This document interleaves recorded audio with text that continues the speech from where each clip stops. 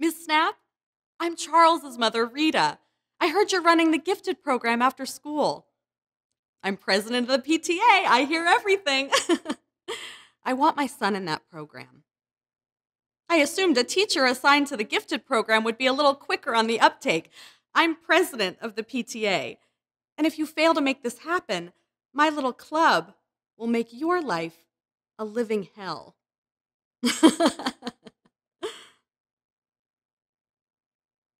so I buy my ex a watch and I get it engraved.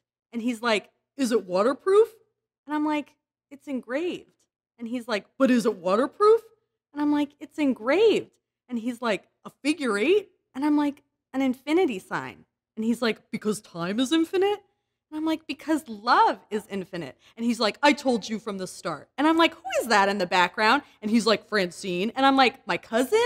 And he's like, She's hot. And I'm like, Francine, how can you do this to me, Francine? And she's like, Well, I don't really know.